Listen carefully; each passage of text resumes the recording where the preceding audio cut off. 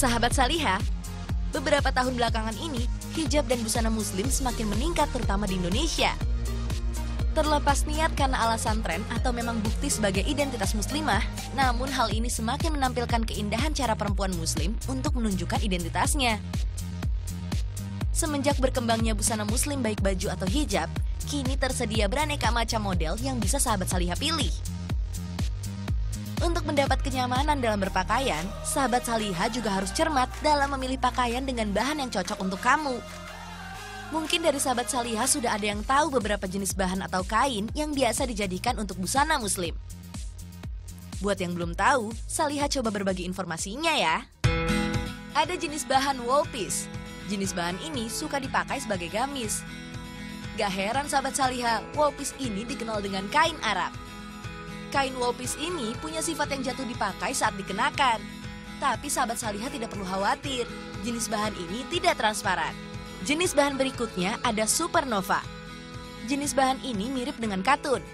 Karena bahan ini terbuat dari bahan katun yang dicampur dengan bahan sintetis polister. Buat sahabat Saliha yang mau buat atasan, jenis bahan ini pas sekali. Karena bahan ini terbuat dari bahan katun yang dicampur dengan bahan sintetis polyester. Kemudian ada jenis bahan satin silk. Satin silk ini memang terlihat mengkilap dan terlihat elegan. Satin silk ini bisa disebut juga sutra. Bahan ini suka dimanfaatkan wanita untuk baju dan juga kerudung mereka. Dan jenis kain lainnya adalah spandex. Jenis kain ini memang cukup populer untuk busana muslim dan juga hijab.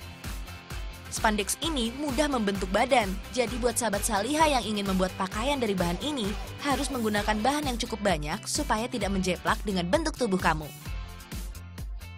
Bahan yang tadi disebutkan merupakan beberapa jenis bahan yang sering digunakan.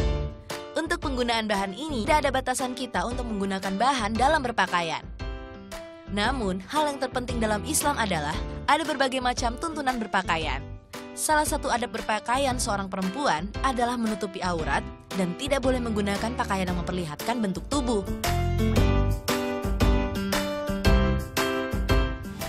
Selain wanita, pria pun juga punya adab dalam berpakaian loh sahabat Saliha. Salah satunya tidak diperbolehkan memakai sutra dan emas. Maka dari itu, pakailah bahan baju sewajarnya. Dan untuk warna, pria diperbolehkan menggunakan pakaian berwarna merah asal tidak polos. Berkaitan dengan larangan berpakaian merah polos dan boleh jika tidak polos, ada dalil yang membahasnya. Dari Al-Baro bin Azib radhiyallahu an, ia berkata, Nabi Shallallahu Alaihi Wasallam melarang kami mengenakan ranjang yang lembut, yang berwarna merah dan kosi, atau pakaian yang bercorak sutra. Hadis riwayat Bukhari. Oleh karena itu sahabat Saliha, kita boleh saja mengikuti perkembangan berpakaian saat ini. Asalkan kita juga harus tahu batasan dan adab untuk berpakaian menurut ajaran Islam. Sebagai seorang muslimah, tentu setiap harinya nggak pernah kelewat ya berdiri di depan cermin. Entah hanya sekedar bermake up atau merapikan pakaian dan hijab yang kita kenakan. Dan sering juga kan sahabat Saliha memandang wajah sendiri di cermin, tapi sahabat Saliha tahu nggak? Ternyata ada adabnya loh dalam bercermin.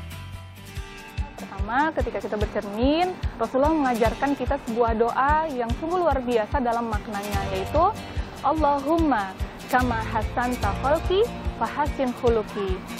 Artinya adalah ya Allah, sebagaimana Engkau memperbagus ya memperelok rupaku, penampilanku, maka berbaguslah pula akhlakku. Itu artinya Rasulullah ingin mengingatkan kepada kita bahwa uh, kecantikan, ketampanan itu tidak melulu terlihat dari fisik, tapi juga dari akhlak. Kemudian yang kedua, kita menyebut Allahumma ketika kita sedang bercermin. Artinya kita ingat pertama ketika bercermin adalah bukan wajah kita, bukan wajah kita, tapi adalah pencipta kita ya tidak berlebihan ya. Sehingga ketika kita berlebihan misalnya setiap senti dari wajah kita dari tubuh kita kita lihat semua akhirnya kan nanti jatuh-jatuhnya ujub. Maka dianjurkan untuk tidak berlebihan. Kita berka kita bercermin uh, itu ya seperlunya saja. Tidak berlebihan. Ya kemudian yang terakhir jangan lupa kita mengucapkan hamdalah.